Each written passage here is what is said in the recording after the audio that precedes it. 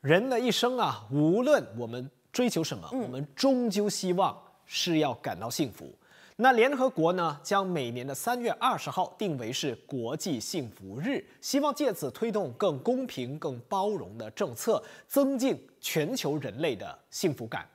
而配合二零二四年国际幸福日发布的世界幸福报告，最新排名是刚刚出炉了。芬兰连续第七年蝉联榜首，夺下了全球最幸福国度的这个殊荣。至于丹麦、冰岛和瑞典，则依序排在第二到第四名，占据前四位的清一色都是北欧国家。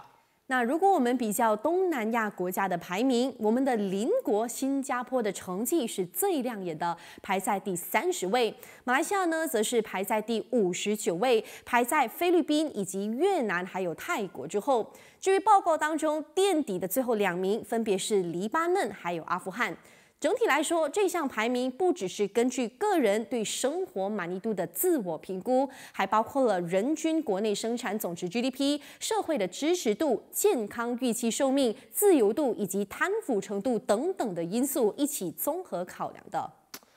啊，当年分家的时候，新马估计是平起平坐，现在。一个第一，一个五十九，差了五十多，你说真的是？无论如何，有学者就分析说呢，芬兰之所以连续七年稳坐最幸福国度冠军宝座呢，主要和当地的自然环境、教育程度、人与人之间的信任等等息息相关。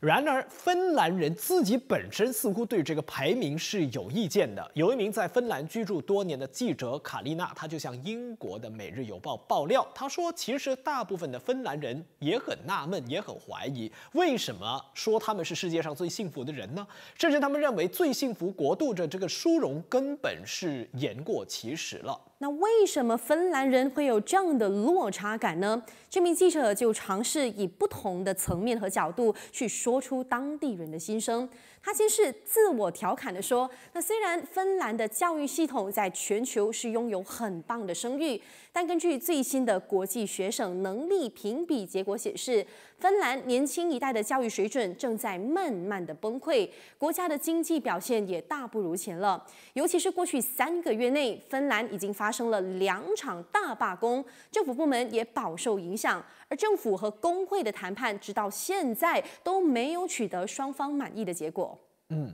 除了经济和教育领域不如人意呢，当地民众的心理健康也亮起了红灯。呃，报道说啊，芬兰人普遍有酗酒、服用抗抑郁药物的情况，自杀率呢更曾经在全球名列前茅。虽然现在这个自杀人数呢已经减半，但是仍然高于欧盟设下的平均值。每年的冬季呢，芬兰人都被迫在恶劣的天气和融雪的泥泞中打滑挣扎，来迎接他们